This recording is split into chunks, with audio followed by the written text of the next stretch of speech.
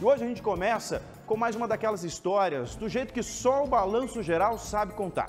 Um jovem que foi preso suspeito de participar de um assalto que deixou um prejuízo de 30 mil reais. De acordo com a dona da loja de celulares, um cliente reconheceu o rapaz que seria o suspeito de participação desse crime aqui, desse assalto. Seria Alan Henrique de Souza Ferreira, de 23 anos, um dos homens armados, então, que invadiu o comércio na cidade de Araucária. Eu quero chamar a sua atenção, quero que você acompanhe essa reportagem, porque tem novidade e a gente vai atualizar esse caso já já. Fica com a gente, coloca a reportagem na tela. 9h28 da manhã. Dois homens com bonés e máscaras, um com moletom preto e outro com blusa azul e branca, entram na loja de celulares. Um já aponta o revólver para o proprietário e coloca a mochila em cima do balcão. O outro obriga a mulher a levá-lo aos fundos do estabelecimento onde estavam as filhas do casal, de 8 e 5 anos. Eles ordenaram que todos ficassem quietos e apontaram a arma, inclusive para as crianças. A ação durou dois minutos e deixou um prejuízo de 30 mil reais. O assalto à mão armada foi no dia 31 de janeiro deste ano, em Araucária, na Grande Curitiba. Quase oito meses depois, um dos suspeitos foi preso no trabalho. Segundo a dona da loja, Alan Henrique de Souza Ferreira, de 23 anos, seria o rapaz com a arma na mão ela teve a certeza após um cliente ver as imagens das câmeras e mostrar uma foto do jovem nas redes sociais. Segundo este cliente, Alan seria conhecido na região por vender celulares de origem duvidosa. O Ministério Público ofereceu a denúncia contra ele e a justiça acatou. A prisão foi na véspera de 7 de setembro.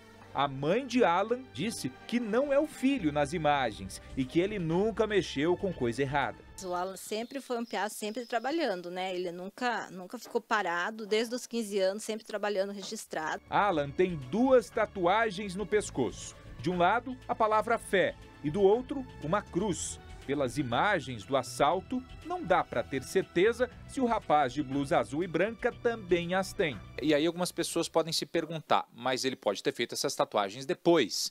Faz quanto tempo que ele tem as tatuagens? Olha, faz uns dois anos já. Faz tempo já que ele tem. É até o que a gente pensou, falou só que falta agora quererem, né? Falar, ah, foi feito depois. Não, isso jamais, que faz tempo que ele tem essa tatuagem, né? Alan trabalha como auxiliar de manutenção de segunda a sexta-feira para uma empresa que presta serviço terceirizado na refinaria da Petrobras em Araucária, a Repar. O cartão ponto com impressão digital mostra que no dia 31 de janeiro, no horário do assalto, ele estava dentro da empresa. Entrou às 7 e 9 da manhã fez uma hora de almoço, do meio-dia a uma, e saiu da refinaria às 6h32 da noite. O registro na catraca de acesso a Repar também informa que ele estava trabalhando naquela manhã. Entrou às 7 horas e só saiu às 11h22 para o almoço. Os dois supervisores foi feito declaração que ele estava lá dentro, sabe? Então, assim, tem todas as provas a favor dele né? Não tem nada que possa ficar na dúvida, né? E até o que eu falo, a imagem, a foto, eu sei que não é ele. Tenho certeza que não é ele, né? Eu conversei com um casal, dono desta loja assaltada, que fica nesta rua aqui em Araucária, mas eles não quiseram gravar entrevista. O estabelecimento vende aparelhos celulares seminovos e também trabalha com assistência técnica. A mulher me disse o seguinte, que viu o rapaz, que seria Alan sem máscara, e que não tem dúvidas de que seria ele sim. Caso contrário, não teria denunciado um inocente. Entre os aparelhos roubados naquela manhã estava o celular do marido dela. O rastreador do telefone indicou que o aparelho estava na região da casa de Alan. Olha só, até hoje o telefone não foi encontrado. Eu também questionei a dona da loja com relação às tatuagens de Alan. Ela afirmou que viu algo parecido com uma tatuagem no pescoço do rapaz. A família do jovem está indignada, jura que ele não participou do assalto e aposta que, com as provas, Alan deixa a cadeia em breve. Você acha que essas duas pessoas, tanto aquela que mostrou a foto do teu filho, quanto a dona da loja, eh, devem ter confundido ele com outra pessoa? Com certeza, com certeza. Ela, não sei, ela olhou muito mal a foto dele, né? Olhou muito mal, porque, assim, até quem não conhece ele, tem uma amiga minha que não conhece ele direito, e que ela viu uma vez e ela conseguiu. Ela falou, não tem nada a ver com ele, sabe? Assim, olhando por trás o pescoço dele, sabe? Ali a foto que a gente vê a, o rapaz saindo da loja, o pescoço dele, tudo é diferente, é totalmente diferente dele. Sabe? Então, a gente não tem dúvida, né, que não é ele. É muito revoltante, é revoltante mesmo. É certo, é certo. A legislação brasileira sugere que esse reconhecimento por parte da vítima seja feito por um relato, ou seja, ela vai à delegacia, faz ali, uh, uh, uh, diz os traços e tudo mais, as características do criminoso. Posteriormente, ela faz o reconhecimento por foto, mas também precisa ter o reconhecimento eh, pessoal, ou seja, o suspeito junto com outros, outros homens, outras pessoas, aí sim se faça esse reconhecimento.